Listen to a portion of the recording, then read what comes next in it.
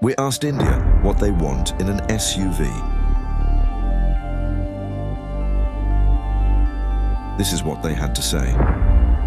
If I'm driving it, it needs to be a real SUV. Nothing else will do. Safety is my number one requirement. A family of three is soon becoming four. So that's a priority for me. मुझे ये security मेरी family के लिए चाहिए Papa sunroof. Yes. And a sunroof for Shayan, of course. We just got married and we want to buy a bigger car. The wife wants a seven seater, and I've learned I can't say no to her.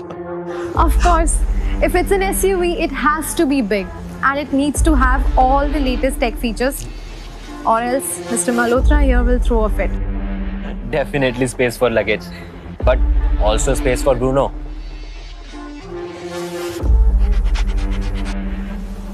For me, it's all about staying connected.